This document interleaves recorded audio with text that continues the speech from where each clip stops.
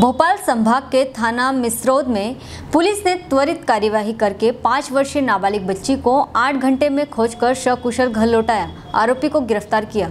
घटना का विवरण थाना मिसरौद में फरियादी राजू आदिवासी पिता, चुन्नीलाल आदिवासी, उम्र 24 वर्ष, निवासी विनायक ग्रह निर्माण समिति, हर्षद रघुवंशी का निर्माणाधीन मकान पर जाट खेड़ी ने सूचना दी कि उसकी पाँच वर्षीय नाबालिग बच्ची शाम को चार बजे घर के सामने से खेल रही थी। जो घर वापस नहीं आई, आसपास काफ़ी तलाश किया, लेकिन बच्ची नहीं मिल रही है। जिस पर थाना मिसरोद में अपराध क्रमांक चार सौ चौवन बटा 2020 धारा तीन आईपीसी का अपराध पंजीबद्ध कर विवेचना में लिया गया।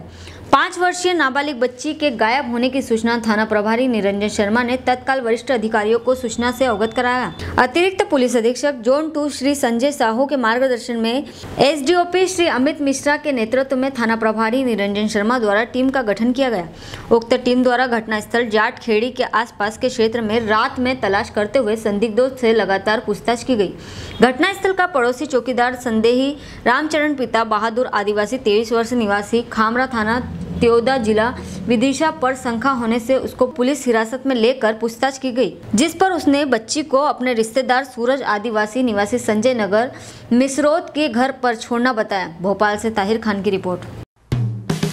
हेलो फ्रेंड्स आप देख रहे हैं हमारा channel S W twenty four news हमारे सारे वीडियो सबसे पहले देखने के लिए आप हमारे चैनल को सब्सक्राइब करें और पास में लगे बेल आइकन को दबाना बिल्कुल भी ना भूलें।